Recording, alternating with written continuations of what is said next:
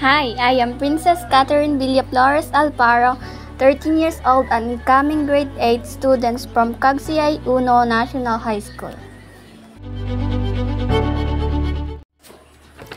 Bagamat hilig ko ang pagguhit, baguhan pa lang ako sa ganitong larangan ng contest, ang poster making.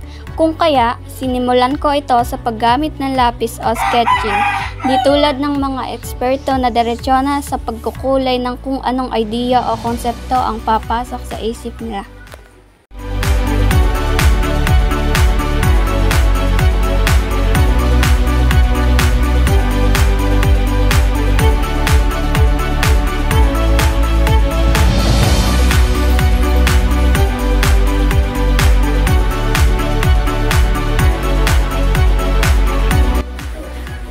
Sambayan ng Pilipino, nagkakaisa tungo sa katatagan at maunlad na kinabukasan.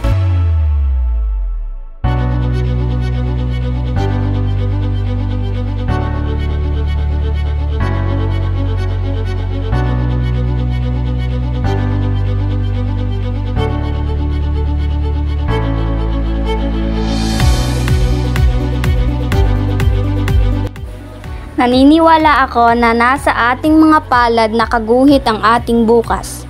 Dahil tayo ang guguhit ng mga ito, lalo't higit sa mga tulad kong kabataan.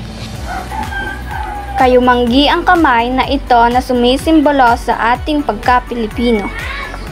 Tayo ang kinabukasan ng Pilipinas. Sa ating sambayan ng Pilipino, anumang propesyon ang mayroon tayo estudyante, pulis, guro, construction worker, doktor, magsasaka, sundalo, pumbero, o anumang tungkulin ng ating ginagampanan sa ating bansa. Ito ang nagsisilbing daan para sa ating kinabukasan, hindi pa huli ang lahat.